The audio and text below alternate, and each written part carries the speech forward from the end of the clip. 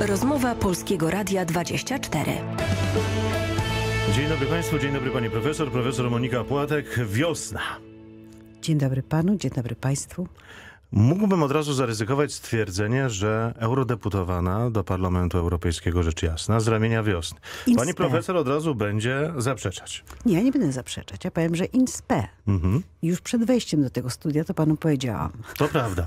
Ale powiedziała Pani, że musimy poczekać na to, co zdecyduje Robert Biedroń, a wydawać by się mogło, że Robert Biedroń już przesądził.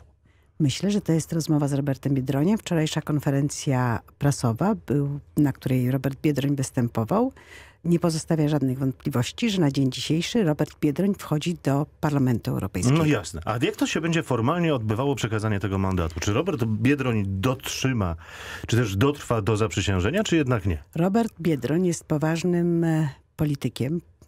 Jest poważnym politykiem, który wykreował wiosnę, przewodzi wiośnie i który dotrzymuje słowa. Wszystkie inne szczegóły należy omawiać z Robertem Biedroniem. Pani profesor, skoro mówi pani, że Robert Biedroń jest niezwykle słownym człowiekiem, czego nie mam powodu dowodzić, że tak nie jest lub jest zgoła inaczej, to Robert Biedroń mówił wprost, że jeżeli uzyska mandat do Parlamentu Europejskiego, on się go zrzeknie.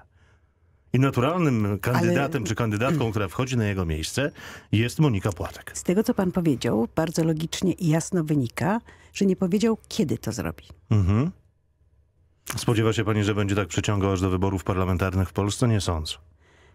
To są pytania do Roberta Biedronia, bardzo możliwe, e, że są również związane z wyborami w Polsce, do polskiego parlamentu, ponieważ też wczoraj wyraźnie powiedział, że staje na czele kampanii wyborczej do parlamentu polskiego. Czyli logicznym wydaje się, że jednak Monika Płatek jest parlamentarzystą. INSPE, oczywiście, tak. I jestem na to gotowa. Super. Pani profesor, koalicja europejska, ona powinna być zasilona o partię Wiosna, czy nie?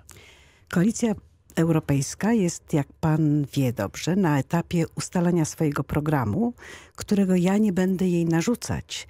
Natomiast e, myślę, że byłoby dobrze, żeby na przykład ustalić, dlaczego stawiany jest warunek, że jeżeli wejdzie, jeżeli w ogóle byłaby brana pod uwagę wiosna, co wiosna w tej chwili też nie bierze pod uwagę, to na przykład występuje z tego PSL. No tak, i to jest jedyna stronnictwo, czy jedyna partia, która mówi, że nie wejdzie w koalicję jakąkolwiek, jeżeli pojawi się wiosna na I ja tego nie rozumiem i chciałabym wiedzieć dlaczego, ponieważ wydaje mi się, że mało kto ma tak atrakcyjny i interesujący program jak Wiosna i jest to program rzeczywisty, a nie program, który jest nastawiony na to, żeby odstawić PiS od władzy. Tylko jest to program, który można realizować od dziś. Pani profesor była uprzejma stwierdzić przed momentem, że koalicja europejska jest w tej chwili na etapie ustalenia swojego programu. Nie jest to trochę za późno na ustalenie programu? Znów to nie jest pytanie do mnie, to jest pytanie do koalicji. No jasne, ale to pani profesor stwierdziła. Ale patrząc na to z boku, proszę dojrzeć i naprawdę ja to po powtarzam z całą odpowiedzialnością. Wydaje mi się, że dowodem na dojrzałość polskiej polityki jest powstanie koalicji europejskiej. Nie zapominajmy, że po prawej stronie to nie jest tak, że PiS rządzi. PiS również rządzi w koalicji. Tak jest, Zjednoczona Prawica. Dokładnie. W związku z tym fakt, że powstała ta koalicja jest czymś bardzo dobrym. Fakt, że uzyskała wynik taki, jaki by uzyskała, a nie uzyskałaby go, gdyby szła w podzielona i oddzielnie i również PSL nie uzyskałby zbyt wiele, też jest faktem. Czyli to, co będzie dalej, również zależy od polityków i, i są, jak rozumiem, na następnym etapie i nie mnie to oceniać. Ja bym chciała, żeby na koniec tego dnia przestano wreszcie gadać tylko i wyłącznie o partiach, a zaczęto rozmawiać o nas, o ludziach, o zwykłych ludziach i naszych potrzebach. No, zwykli ludzie stali się głównym elementem i bohaterem tychże wyborów. Nikt się sensie- takiej frekwencji nie spodziewał. Dlaczego? Ja się spodziewałam. Ale aż tak wysokiej? Tak. Z bardzo wielu powodów. To jest między innymi wynik bardzo dużej aktywności wiosny i zachęcania do wyborów i tłumaczenia, dlaczego te wybory są tak To ważne. jasne, ale jeżeli wiosna była szacowana, czy sama siebie szacowała na naście procent, a uzyskała raptem 6 z kawałkiem, no to raczej do sukcesu zaliczyć nie należy. Sukcesem jest to, że przeszła i To na prawda. to trzeba tak spojrzeć. E, Na pewno byłoby miło, gdyby ten wynik był wyższy i na pewno byłoby to łatwiej osiągnąć, gdyby z jednej strony wiosna dysponowała tymi samymi możliwościami, co pozostałe ugrupowania i z drugiej, gdyby tuż przed wyborami nie rozsyłano informacji i naprawdę najdalsza jestem od tego, żeby dochodzić, kto to robił, ale wprowadzał ludzi w błąd, twierdząc, że głosy oddane na wiosnę będą stracone. No to z całą pewnością nie zrobiła tego Zjednoczona Prawica, pani profesor. Ja nie mówię w ogóle o tym, kto i to jest nieistotne. No jasne, ja no to mówię, że było to wprowadzanie w błąd, które mogło doprowadzić do tego, że Kto mógł sympatycy... mieć interes w tym, żeby wyeliminować czy zdeprecjonować wiosnę? Nie mam zamiaru tego dochodzić, bo to nic Ale w to tej jest chyba chwili nie istotne. zmieni. Nie dla mnie. Nie dla mnie. Znów, dla mnie istotne jest to, żebyśmy zadbali wreszcie o parę spraw, jak na przykład dobry poziom edukacji z językiem angielskim na czele, żeby ludzi pozbawiać kompleksów, bo jesteśmy świetni, a o tym nie wiemy, bo sądzimy, że się nie umiemy komunikować. Żeby zadbać o to, żeby jednakże sprawy klimatyczne zaczęły odgrywać większą rolę, alimenty były spłacane i parę innych rzeczy, które naprawdę można robić dobrą polityką społeczną, a nie tylko zajmować To się... dlaczego Koalicja Europejska nie miała tego we własnym programie? Pytanie do Koalicji Europejskiej. No to tak można każde jedno pytanie odbijać, pani Ale- profesor. Bo, bo ja naprawdę nie jestem uprawniona. Ja jestem prawniczką, kryminolożką. Znam swoje kompetencje. Dawno nie, słyszałem jestem, tego określenia kryminolożka. Ładne jest. Bo dawno mnie pan tu nie zapraszał. Pani profesor, zaproszenie jest cały czas otwarte. Muszę pani powiedzieć, że w odróżnieniu od mediów komercyjnych, akurat media narodowe czy media publiczne były otwarte cały czas na przedstawicieli wiosny. Dowodem chociażby Sylwia Spurek na dzień przed ciszą wyborczą. Cieszę się. Dla mnie to zaproszenie jest pierwsze od czterech lat, A dlaczego pani profesor sama nie zadzwoniła i nie powiedziała, że ma ochotę albo czas? bo to nie taka metoda. Oj, Nie będę ja dyktować dziennikarzom, nie, to nie chodzi o dyktowanie. robić. Dobrze, to w takim razie idziemy dalej. Od 89 roku, że jesteśmy świadkami, uczestnikami, bądź może tylko i wyłącznie obserwatorami. Mamy do czynienia z sytuacją taką, że właściwie do roku 2015 każdy jeden rząd, każdy rząd, który się wyłaniał, był efektem, efektem jakiegoś porozumienia, zawarcia jakiejś koalicji. Na przykład PO-PSL, PSL-SLD, AWS był też jedną wielką koalicją. I teraz tak, nie trzeba było tworzyć jakiegoś sztucznego bytu, nazywać go koalicją obywatelską, koalicją europejską. Po prostu partie się dogadywały i była koalicja rządząca. PO, PSL, PSL, SLD, AWS. A tutaj mamy do czynienia z jakimś takim bądź co bądź jednak Po pierwsze czymś mamy do sztucznym. czynienia z czymś bardzo naturalnym. Po drugie, panie redaktorze, my nie tworzymy tutaj rządu. To były wybory do Parlamentu Europejskiego, co szczerze mówiąc też wiosnę wyróżnia. My żeśmy od początku wiedzieli, że to co proponujemy, to proponujemy w ramach wyborów do Parlamentu Europejskiego. Z- Znając i rozumiejąc znaczenie Polski w Parlamencie Europejskim, naprawdę znaczenie tego, jak będziemy się zachowywać i jak będziemy stwarzać politykę europejską w Europie i w Polsce. I tym samym, nie I- przystępując do koalicji europejskiej, staliście się wrogiem numer jeden koalicji europejskiej. Nie, Czego myśmy się najlepszym nie stali wrogiem numer Zostaliście jeden. obrani w takim razie przez koalicję europejską na pierwszego wroga, drugim stało się PiS. Tłumaczę, uzasadniam. Chociażby wymiana zdań między czołowymi politykami, no niech będzie Andrzejem Halickim albo Sławomirem Neumannem, a Robertem Biedroniem. I utyskiwanie, brzydko mówiąc, y, dociskanie czy dopiekanie Robertowi Biedroniowi, że nie chce wejść do koalicji, kiedy ta koalicja się zawiązywała, a Biedroń konsekwentnie mówił nie, ja chcę sam, ja idę sam. Wczoraj Robert Biedroń, o czym pani profesor też y, mówiła, przywoływała, Robert Biedroń nie pozostawił żadnych złudzeń.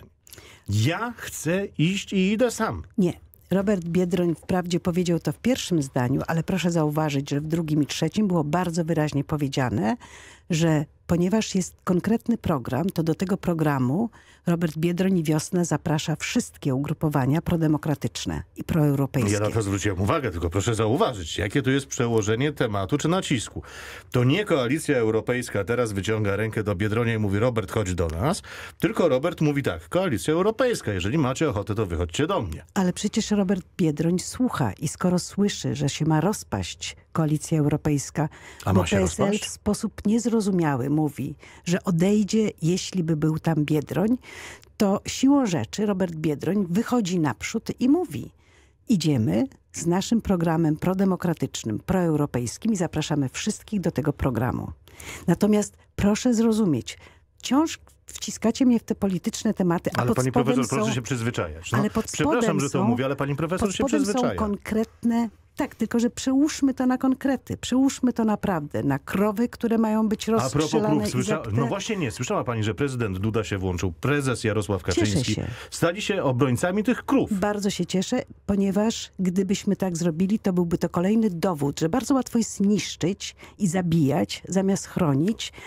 I jeśli tak się stało, to gratuluję również Państwu i gratuluję wszystkim, którzy są wśród zielonych, wśród ludzi, którzy są świadomi tego, jak ważna jest jednakże postawa, która nie pozwala na niszczenie. Od drzew przez zwierzęta po ludzi. Nie chcę deprecjonować zielonym na przykład, ale oni w jakiś dziwny sposób w koalicji europejskiej się znaleźli i oni mówią, znaczy i oni mówią, i koalicja europejska generalnie może powiedzieć tak, no zaraz, zaraz. PiS tutaj udawało takiego proeuropejskiego, a teraz przez to, że chce chronić te krowy, które powinny być dobite. Nie, nie powinny być dobite. Nie, ale moment, ja tylko uzasadnię. Zgodnie z przepisami, dyrektywami Nie, Unii nie ma Europejskiej, takich, nie ma takich nie ma. dyrektyw. To jest ohydne. Wie pan, jak chcemy coś zniszczyć i zrobić złego, to się powołujemy na dyrektywy europejskie, nie podając o co konkretnie chodzi. To, o co chodzi w, w dyrektywach europejskich, to to, żeby krowy były zdrowe. Zbadanie krów I każda jest z kolczykiem. zga- zbadań...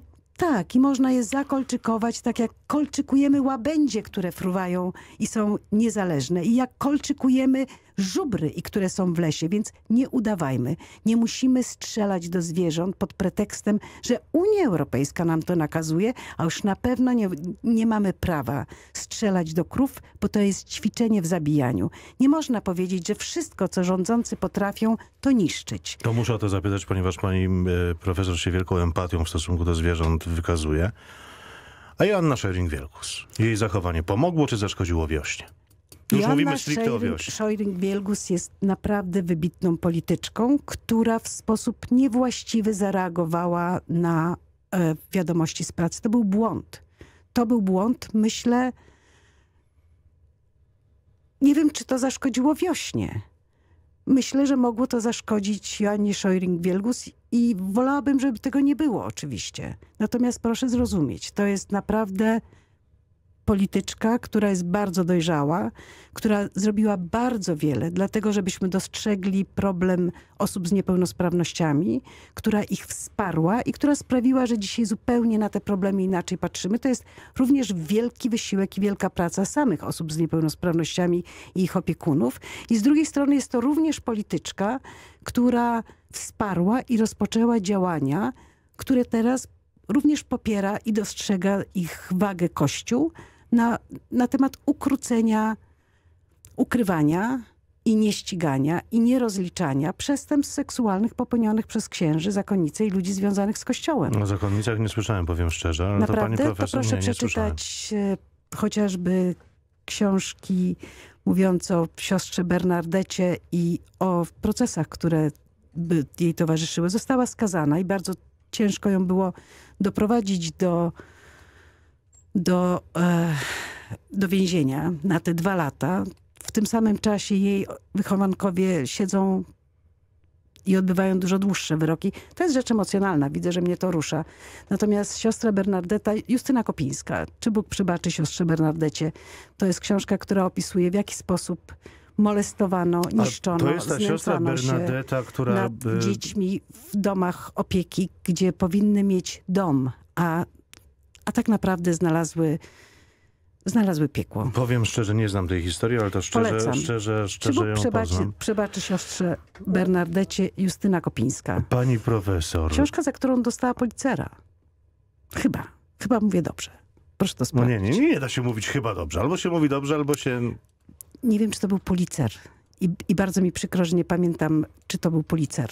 Ale myślę, że samą tematykę udało się sprzedać. Tak a propos, ta tematyka, która została wywołana dzięki Jannie Scheuring-Wielgus, bo taka jest prawda, że u papieża Franciszka była z tą sprawą i rzeczywiście chciała dymisji episkopatu, a właściwie to chciałaby pewnie dymisję. Nie, proszę, proszę, proszę nie, nie, nie trywializuję w żaden sposób. Nie, nie. Rozdzielenia kościoła od państwa. Ale ten kościół jest 25 rozdzielony przecież. Nie jest. Artykuł, jak nie jest, no pani nie profesor? Jest. No jak nie jest? Zwyczajnie nie jest. Nie, To proszę powiedzieć, gdzie jest połączony i który kościół? Bo Kościół pani profesor... katolicki. No, kościół katolicki, ale który? Grekokatolicki, prawosławny, Kościół rzymskokatolicki? rzymskokatolicki. To może bardziej kościoły chrześcijańskie. Bo Nie, w Polsce nie. mówimy o jednym kościele, mówimy o kościołach i związkach wyznaniowych. Cieszę się, że wreszcie zaczynamy o tym mówić, o kościołach i związkach wyznaniowych, natomiast znaczenie w Polsce ma Kościół rzymskokatolicki. I teraz te powiązania są bardzo wyraźne i nie na rękę Kościołowi. I proszę zobaczyć ostatnie wystąpienie posła Kaczyńskiego, który wprawdzie przewodzi partii, ale za nic nie chce wziąć odpowiedzialności i jego krzyki podobne w stylu do szefów rządu z czasów PRL-u, że kto podniesie rękę na kościół, o którym kościele mówił, niech pan redaktor Może o powtórzy. wszystkich kościołach po prostu. Rzeczywiście, ten podnosi rękę na Polskę. Nie, tak nie jest. I proszę zauważyć, że Ale reakcja profesor, kościoła no niestety musimy kończyć. Pierwsze spotkanie i jak miło upłynęło jak zwykle. No, widzi pan? Iza, zapraszamy panią profesor częściej. Pani profesor Monika Płatek będzie częściej państwa Dziękuję gościem państwu, ze względu panu. między innymi też i na fakt, że lada chwila obejmie schedę po Robercie Biedroniu. Gratuluję, czas na Dziękuję serwis bardzo. informacyjny.